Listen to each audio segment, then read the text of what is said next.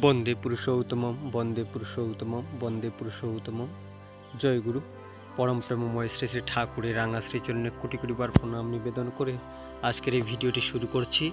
আজকের এই ভিডিওর বিষয়, যদি আমরা পাপ করে থাকি, তো সেই পাপ থেকে আমরা কীভাবে বেরিয়ে আসব? তারপরে আমরা কি কি করব? পরম প্রেমময়, পরম দয়ালের অমৃতময় কথা আপনাদের শেয়ার করছি। ঠাকুর বললেন, পাপ করেছ, তাই কি হয়েছে? পাপে কি পচে গিয়েছো? পাপ প্রীতিতে আগুন লাগিয়ে দাও।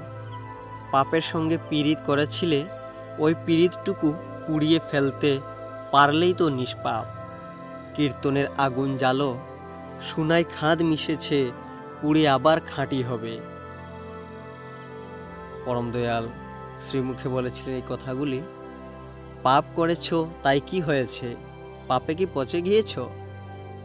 পাপ প্রীতিতে আগুন লাগিয়ে দাও পাপের সঙ্গে পীড়িত করেছিলে, ওই পীড়িতটুকু পুড়িয়ে ফেলতে পারলেই তো নিষ্পাপ।